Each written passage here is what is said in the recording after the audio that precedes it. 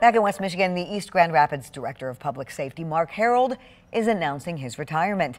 Herald has served as the Public Safety Director in EGO, or rather for 18 years. He was Deputy Director for four years before that. Under his leadership, the city has been named as one of the safest communities with more than 10,000 in the nation. I'll miss the officers. Um, I'll miss the city. Um, I'll, I'll miss the involvement, but that's all good that's all good. We're in East Grand Rapids is in good shape, and uh, it, it's time for somebody else to take over the organization and infuse those ideas um, and try and move the department forward from here. Herald says his next assignment retirement. He also plans to visit his two children who are in the military. They're stationed in Germany. Herald served 40 years in law enforcement.